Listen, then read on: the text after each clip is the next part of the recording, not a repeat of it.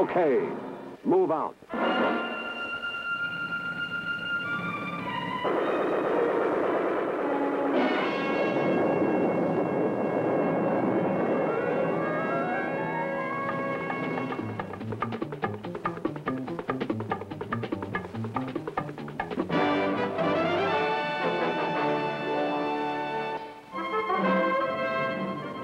Since that fateful day over Hiroshima 20 years ago, we have come to think of weapons development as a revolutionary process.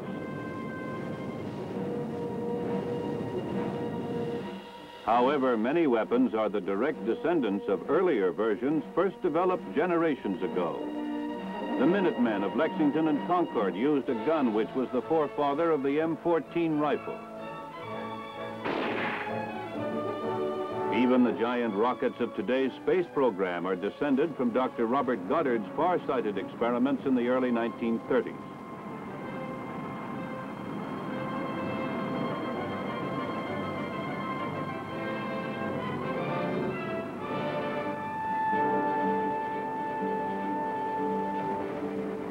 The tank was also once the crude expression of a primitive idea.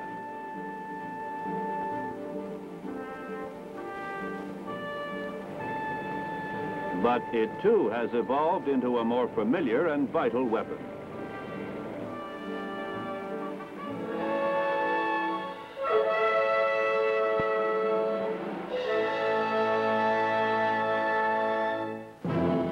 Although the concept of the tank was first conceived by Leonardo da Vinci many centuries ago, it is from the First World War that we can trace the origins of the modern tank.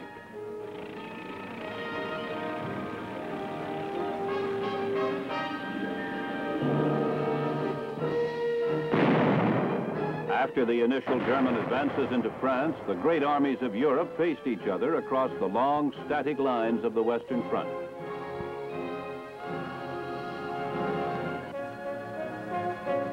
After three years, millions of men had died in the continual effort to break through. The strategists reasoned that if only sufficient numbers of men moved to the front and charged once more against the machine guns and barbed wire, they were bound to get through. But again and again they failed. The stalemate continued. For many months, a few innovators in the British Army had been working on a solution. A mobile armored vehicle which could carry enough firepower to destroy machine gun emplacements as it led the troops through the lines.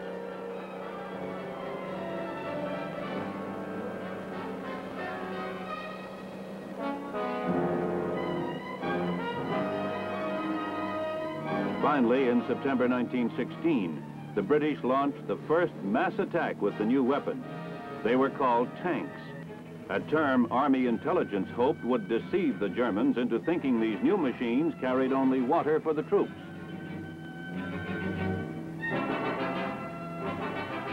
The engagement was a brilliant success.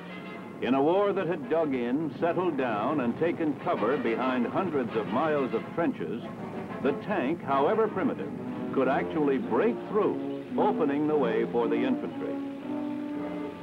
While England continued to develop more efficient models, the French and Germans were soon producing their versions.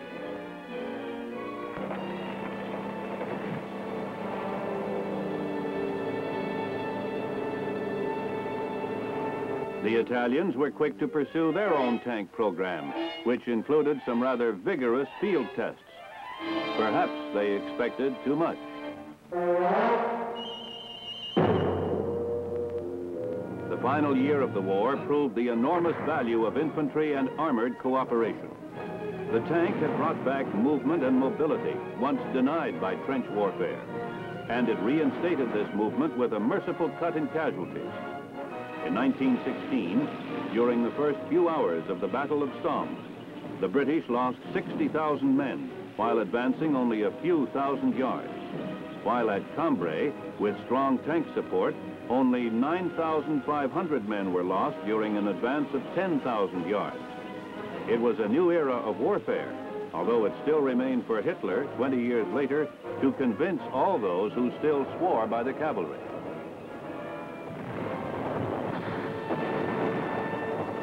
The tank had been designed to break the stalemate, but when it helped force the Germans into full flight during the last weeks of 1918, it was obvious that this tough but sluggish vehicle would have to be reconsidered and improved in future years.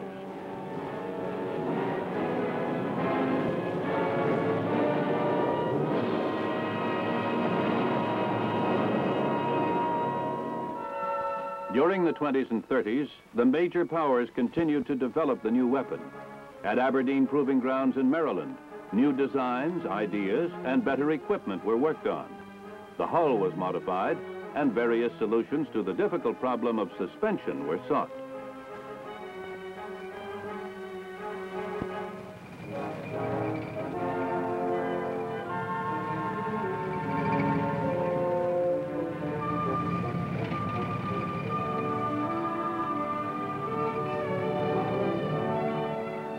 As the Allies worked under the limitations of a peacetime budget, the German army secretly prepared for war.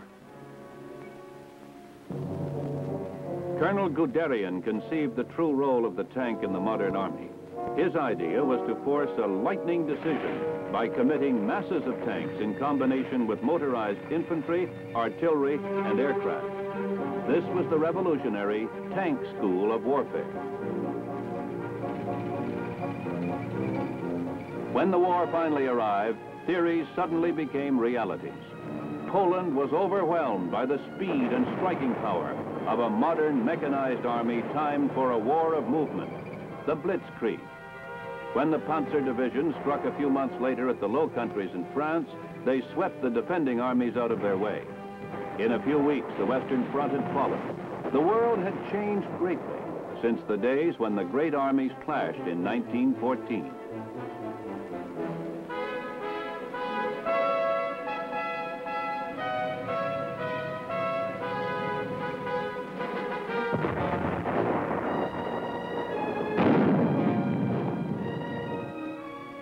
During the long years of the war, each nation worked to improve their tanks.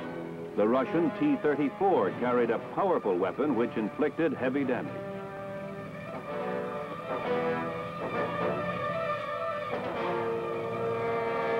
The United States M3, General Grant, played a key role in the early years, but the side mount of the 75 millimeter gun provided a limited field of fire.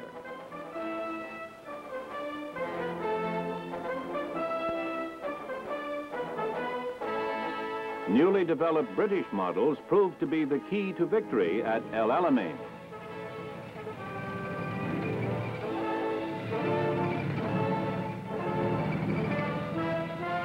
The M4 General Sherman, the first medium-type tank to carry its main gun on top of the hull, possessed the mobility and firepower to break through defenses with swift and telling effectiveness.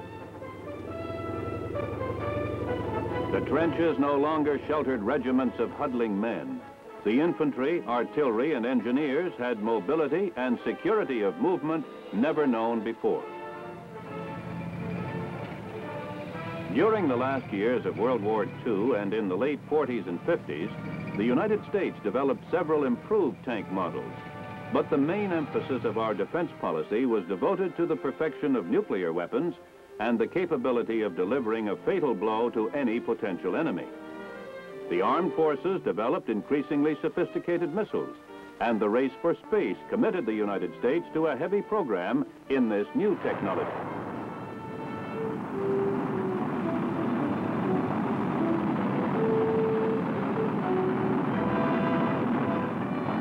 These developments supported the policy of massive retaliation which President Eisenhower and his advisors believed would deter the Soviet Union from any act of full-scale aggression. However, the challenge of communist-inspired local conflicts or wars of national liberation required a more flexible response and conventional weapons. At the vast tank plant in Detroit, Michigan, plans were formulated to meet these new demands. A new tank, one of many, the M60 had to be developed and produced.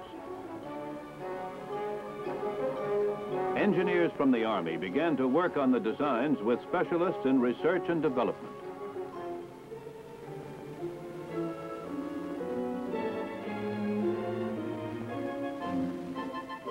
After many months, they came up with the final blueprints. A prototype was built and sent to government proving grounds for testing and evaluation. First, the M60 and later the M60A1 proved that these models had achieved a high degree of protection, firepower, and mobility. It was simple to operate, durable, and reliable. It had to be all these things to meet the requirements as the Army's primary assault weapon.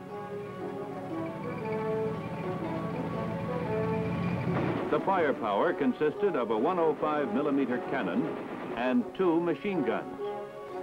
All weapons can be fired from within.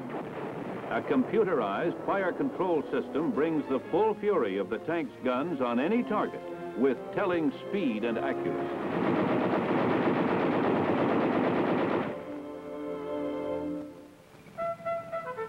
For many months, the tank underwent a vast variety of tests.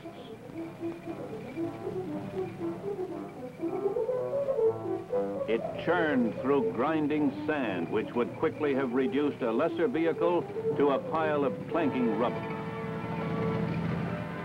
The M60 is powered by a 750 horsepower air-cooled diesel engine, capable of moving the tank some 300 miles without refueling.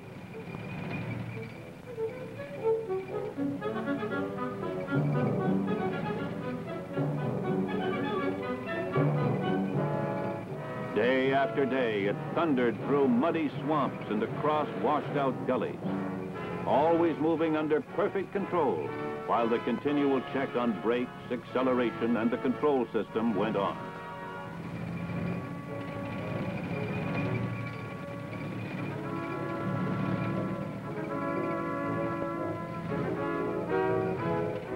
The vehicle can easily cross man-made obstacles.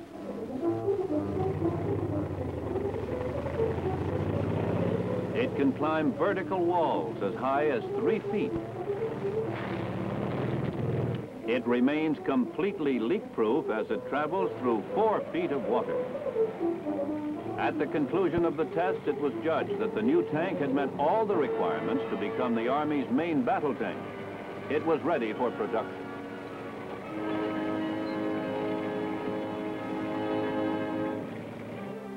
Center of production for this mammoth job is the government-owned Detroit Tank Plant, which is operated by the Chrysler Corporation and supervised by the project manager, M60 Tank, for the United States Army. Organization is on a vast scale. More than 500 separate companies in 25 states and Canada supply the equipment for the tank, which is assembled at the plant. This scene is repeated many times as separate groups of engineers develop every detail of each component. Product improvement never stops, even though tanks are rolling off the assembly line.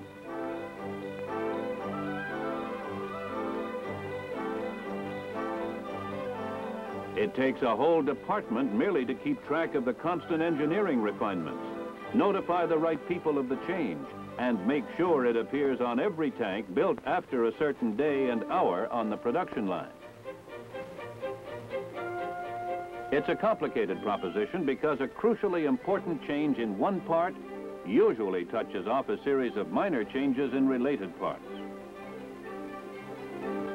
The hull starts out as a cast steel shell, but shortly every inch of it will bristle with all kinds of complex and vital equipment. This particular hull is the master. It serves as a checkpoint for all others and as a pattern for the fixtures. The accuracy of each fixture must be constantly checked against the master hull.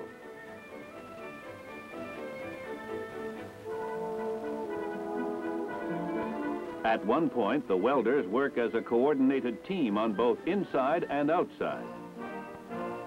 The hull is placed in a cradle, which can rotate and hold it in any position to eliminate the hazards of overhead welding.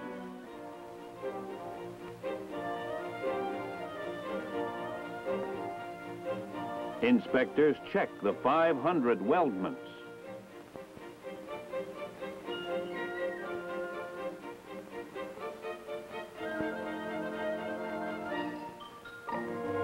After inspection, the hull is then painted.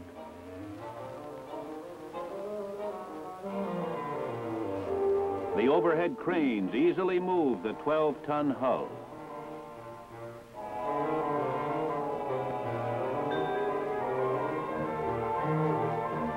The one and a half million square foot tank plant has produced over 35,000 tanks since it was built in 1940.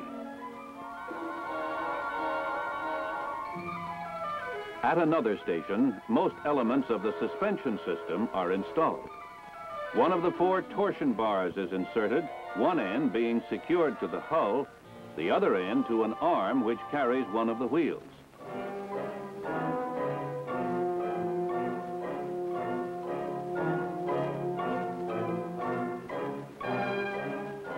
Friction snubbers and track support rollers also go on at this station.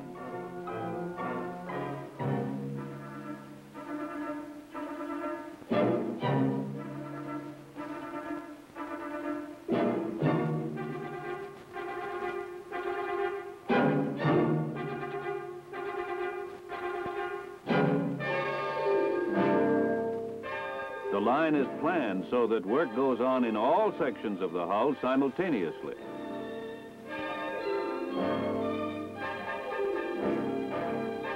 From here all the way to the end of the line, a bank of drawers feed the tank its seemingly limitless supply of parts. Finally, the power pack is placed into position. The work is complete on the hull when the track is attached. Now the vehicle can power itself through the end of the line.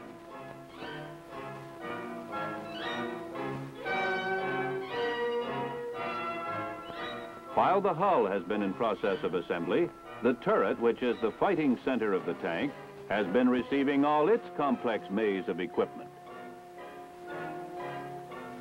Here the tank gets its 105 millimeter gun, but the gun would be useless without a network of sighting, sensing, computing, and signaling apparatus, which must be painstakingly checked and tested.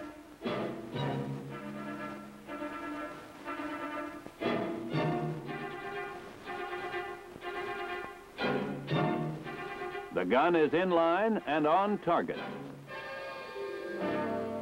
Now it is time to join the turret and the hull.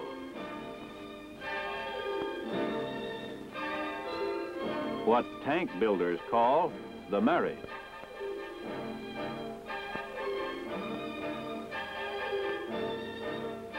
Forty-eight bolts under 90 pounds of compression assure that this marriage will last.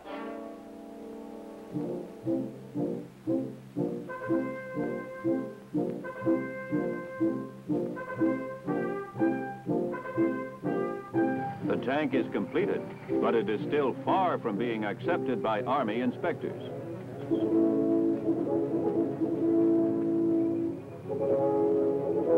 Trial runs are conducted by experienced test drivers.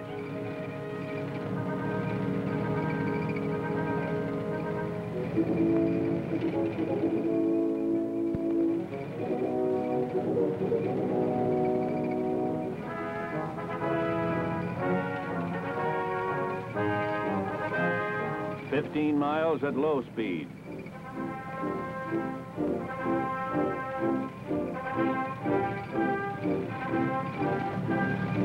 Followed by 15 miles at medium speed.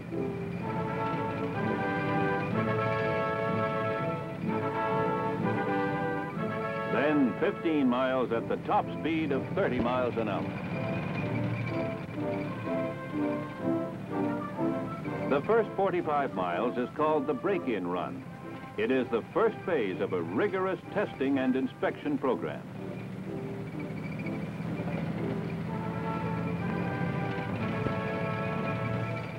The tank climbs a 60% slope and stops. It is run for two minutes, turned off for two minutes, and then must start again in one minute. A similar test on a 36% slope makes sure that the fuel will continue to feed the engine in extreme positions.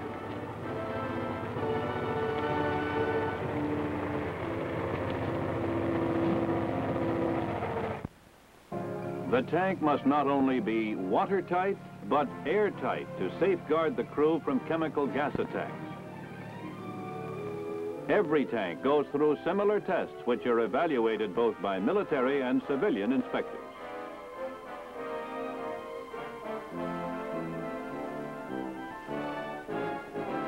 After the tests have been checked and approved, the tank is ready for shipment to our troops.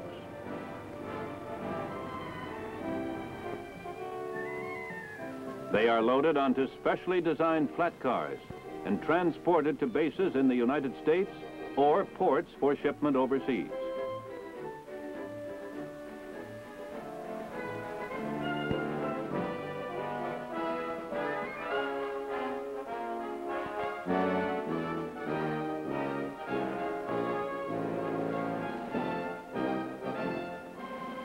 Designers and builders of the M60 series understood the need for versatility and adaptability. They saw other needs for the tank. The basic M60 chassis has been adapted to other important military uses. This armored bridge launcher produced at the Detroit tank plant demonstrates its rather unique value.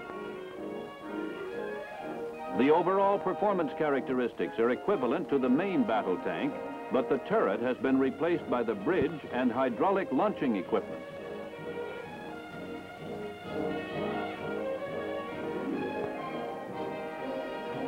With a crew of two, the vehicle can launch or retrieve a 15-ton scissors bridge in just two minutes. The bridge folds at mid-span for easy transportation on top of the vehicle. Speedy and efficient, the launcher provides an important addition to today's fighting force.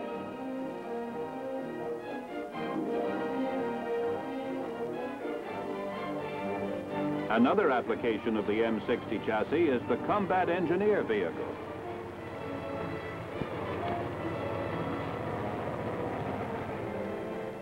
Equipped with a hydraulically operated bulldozer mounted on the front of the hull, the tank can perform a variety of tasks including the removal of roadblocks, filling in gaps, ditches, and craters, and for general demolition and construction work.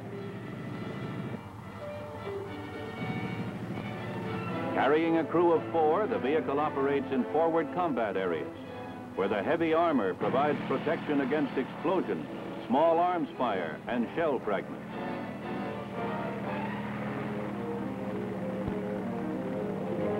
A 165 millimeter cannon designed to fire at short ranges with extreme accuracy can be used for demolition work.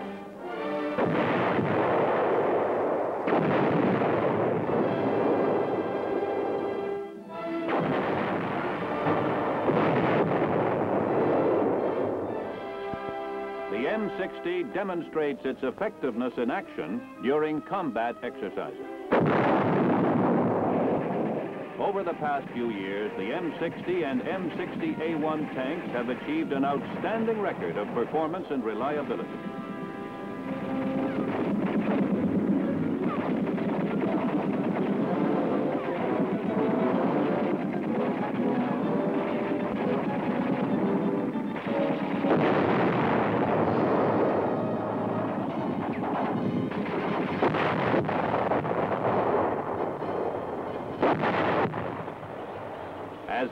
Move in a coordinated attack with infantry units, the tanks meet heavy fire from enemy tanks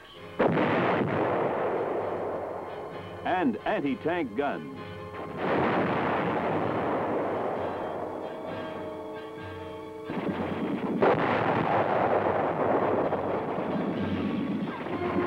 The M60 responds immediately with pinpoint accuracy.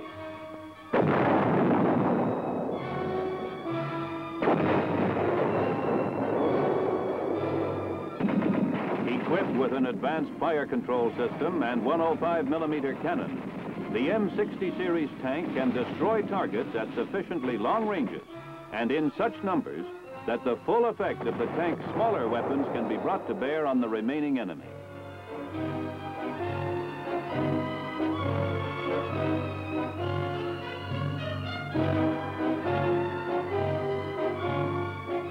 There is no question but that it is an impressive weapon but it is also a highly versatile weapon system. To give the tank commanders their choice of infrared or visible light to use as the situation dictates, a dual searchlight has been developed.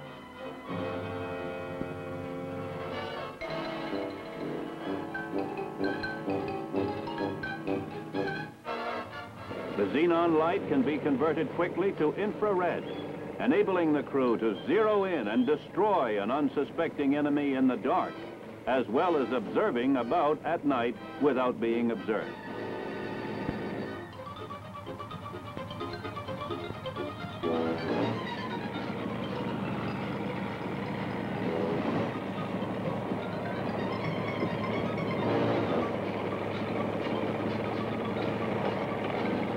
Another versatile feature of the tank is the water fording kit.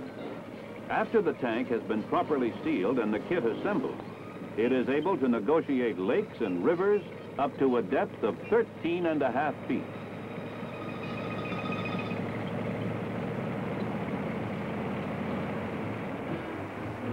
The open conning tower serves as an observation and guidance post for the commander, as well as an intake duct to provide air for the crew and engine.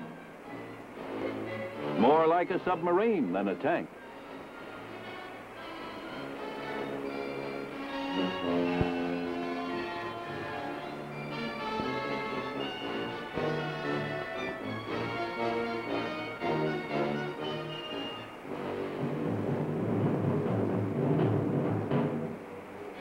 The ability to continue the attack in spite of waterways which once proved a formidable obstacle is a major advancement in the continuing development of the tank.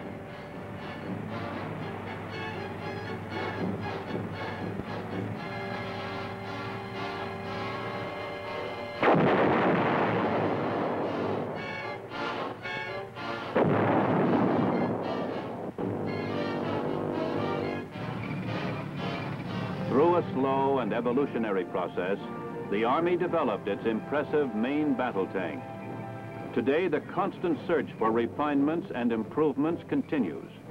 The Army is now concluding the final development of a more advanced and versatile weapon, the missile-firing M60A1E1. Today's tank is but a distant relative of those primitive vehicles that first crossed the muddy fields of Flanders 50 years ago.